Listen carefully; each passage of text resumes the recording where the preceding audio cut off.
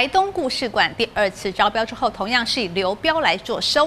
目前第三次招标已经公告了。二十三号下午，台东故事馆迎来成品退场之后第一场活动，故事馆的招牌也换了新装。文化处表示，在新厂商进驻之前，会不定期来举办艺文活动。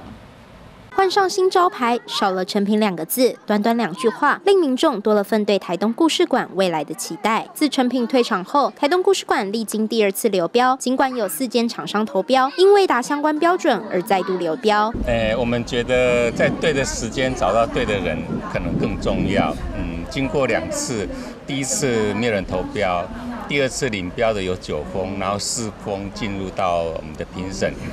可是我们的评审对于台东故事馆的未来有很多的坚持跟期待，所以我们第二次还是以流标做收。资格符合的有四家，可是他们的经营的理念，我们觉得，诶，在译文的部分，在阅读的部分，在人文的部分。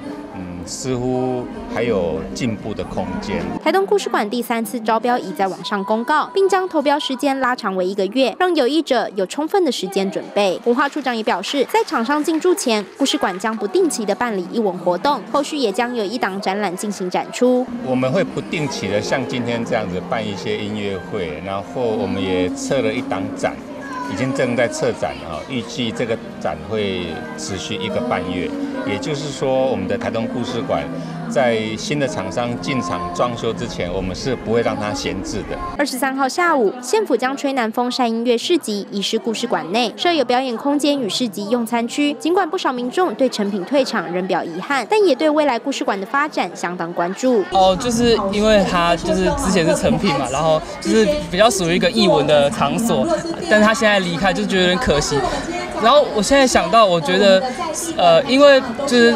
它旁边的那个那个设计中心嘛，对不对？我觉得他们的展间可能有点小，说或许这边也可以成为一个展览的空间。看行销台湾呃高台东的一些名产啊，一些重要的事、重要的东西，让让每一个县市认识台东。希望台东未来这个地方可以变成一个给青创，就是返乡创业青年的一个基地或空间，或者是文创、艺文类，甚至阅读类的，就是不要跟之前差太多吧。因为之前这边成品，对，是，对知识交流方面，然后让台东人就是能够维持像以前那样子的风气。诶，室内的比较少啊，都户外。那下雨天的话就可以来室内。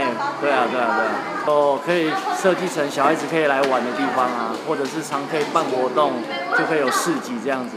周末六日都可以来玩这样子，对。台东故事馆前身为台东地震事务所历史建筑，规模约为三百平，于五月六号完成第二次评选，因投标厂商未能达到评选委员会标准而流标，第三次公告招标将于六月十二号结标。记者江碧任台东市报道。